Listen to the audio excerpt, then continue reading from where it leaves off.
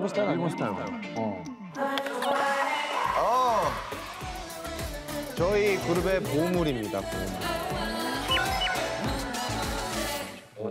아, 너무 멋있어.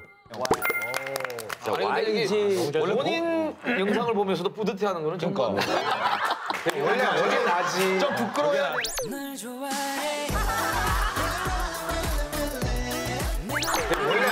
나지. 좀 부끄러워야 되는데. 아니 근데 사실 이렇게 얼굴이나 비주얼만 보면 좀 YG보다는 좀 SM 스타일의 어, 아이돌, 그죠? 있어요.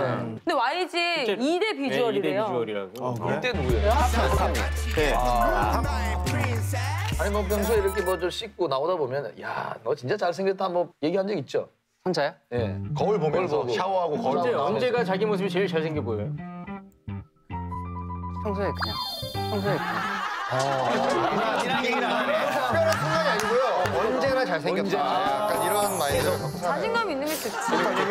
김진우 씨가 이렇게 잘생겼는데도 불구하고 허점이 하나 있습니다. 허점이 하나 있습니다. 셀카를 굉장히 못 찍는다고요. 아 셀카 아 그냥 셀카를 그냥 찍어요. 예. 막 다른 애들들은 되게 막 각도를 아. 막막 찍어도 잘생겼는데. 아, 잘생겼는데 남이 찍어준 사진과 비교를 하면 실할 수 있어요.